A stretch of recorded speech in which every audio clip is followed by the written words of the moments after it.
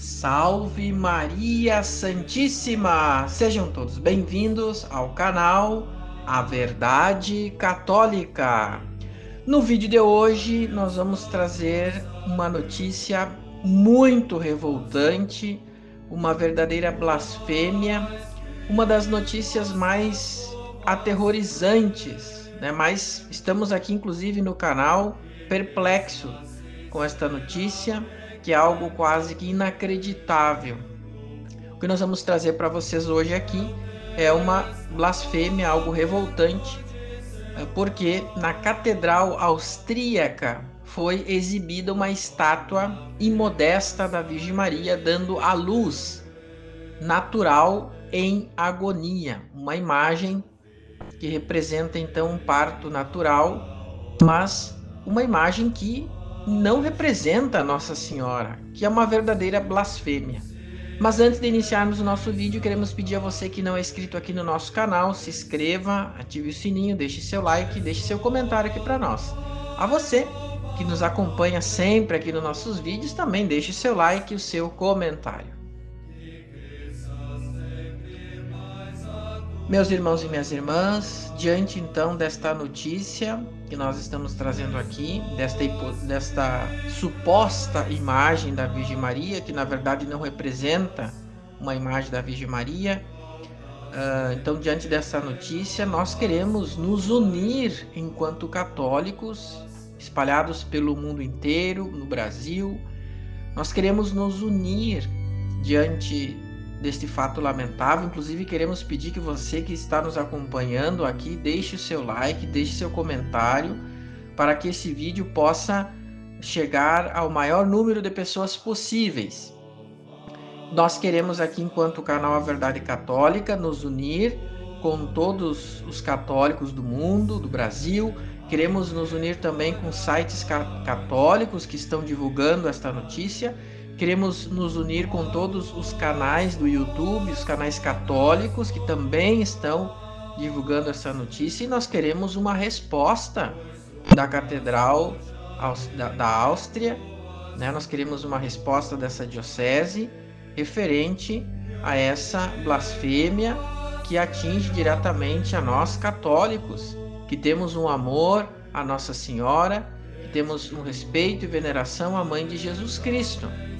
Né? Já não basta muitas vezes os protestantes falarem mal de Nossa Senhora, agora nós temos uma imagem né, uh, completamente uh, uma imagem que não representa a Virgem Maria sendo exposta na diocese de Lis, na Áustria. É lamentável, então, a notícia que nós estamos trazendo, inclusive com imagens aqui que vocês podem acompanhar, em uma capela, na capela lateral da Catedral de Santa Maria, na Diocese de Linz, na Áustria, uma escultura revoltante com o título Coroação, representando o que supostamente é a bem-aventurada Virgem Maria dando a luz a Jesus Cristo em uma rocha.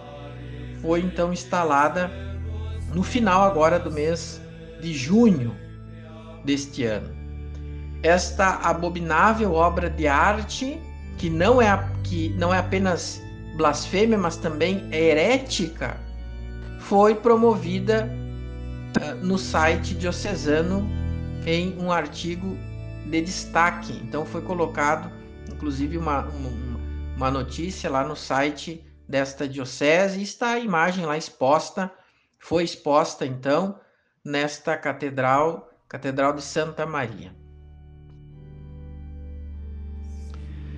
E qual é o motivo da, desta imagem estar exposta lá?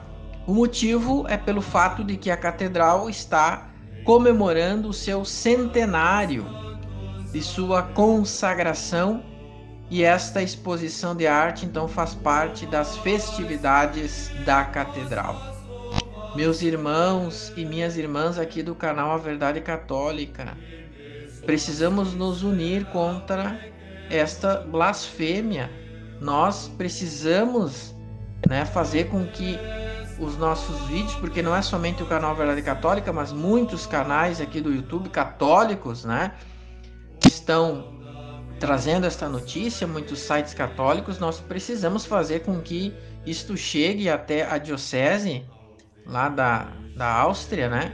Para que eles percebam o quão nós católicos autênticos ficamos revoltados com isto. E provavelmente, né, nós não temos essa informação, mas provavelmente tudo indica que isto é obra, né, de movimentos progressistas, feministas, né, que querem então uh, blasfemar contra a Virgem Maria. A Catedral de Lins é dedicada à Imaculada Conceição da Bem-aventurada Virgem Maria e por essa razão é conhecida então como uma Catedral Mariana. Lá é um edifício sagrado, absolutamente deslumbrante. Na verdade, inclusive é a maior igreja da Áustria e foi construída em estilo neogótico a partir de 1862 e concluída em 1924, completando assim agora em 2024 100 anos da sua conclusão.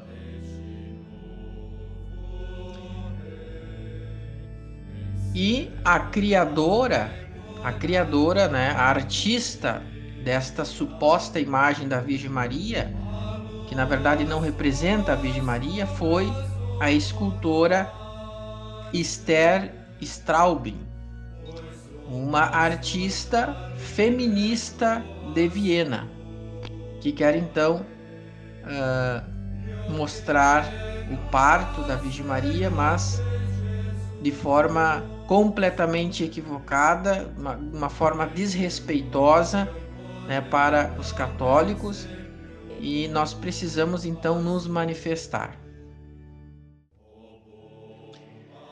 E algumas obras desta artista, né?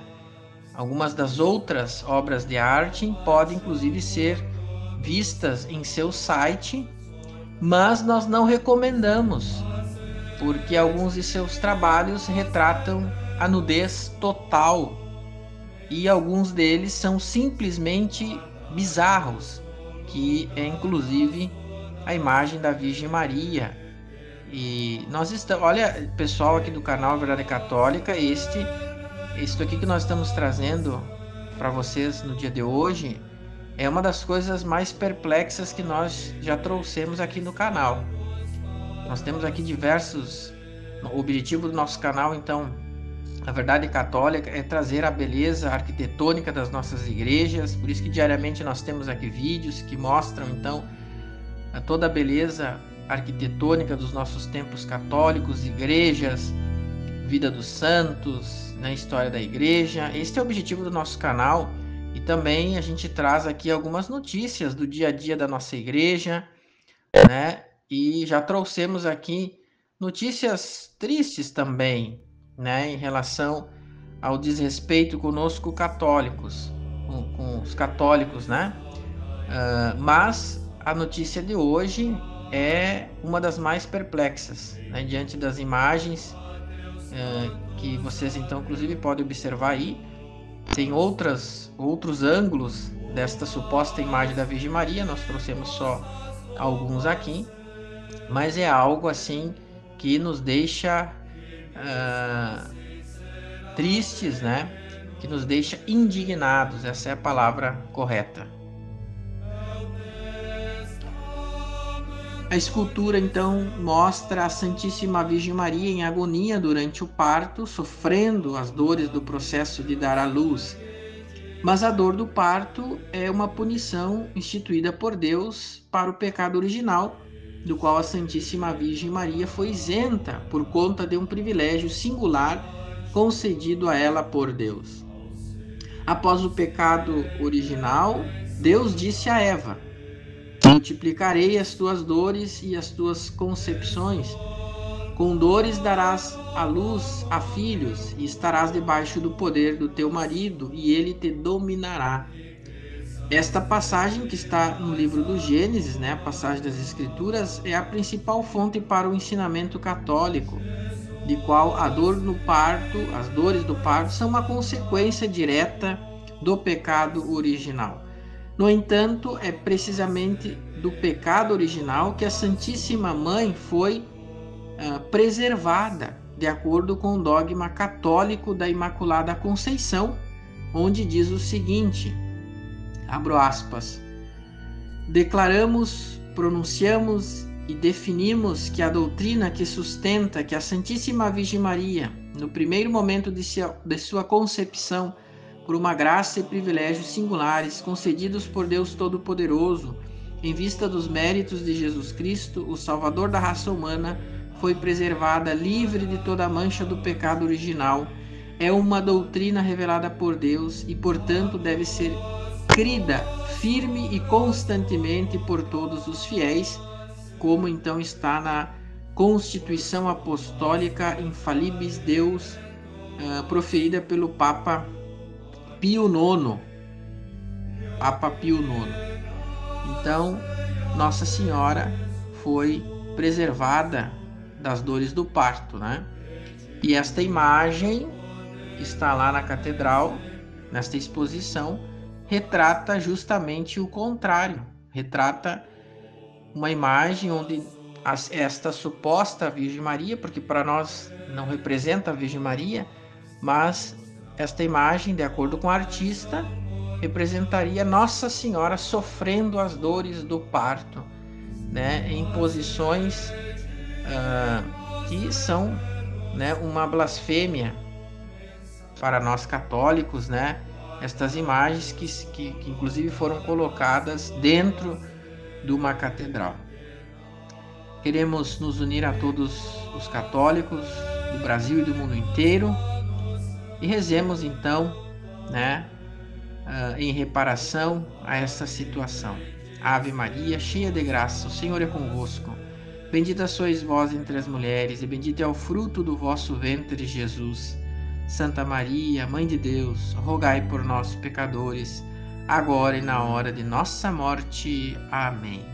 Queremos agradecer a todos que nos acompanharam no vídeo de hoje. Lembrando a você que não é inscrito aqui no nosso canal, se inscreva, ative o sininho Deixe seu like e deixe seu comentário aqui para nós. A você que já é inscrito e nos acompanha diariamente, também deixe seu like e o seu comentário. Obrigado a todos e salve Maria Santíssima!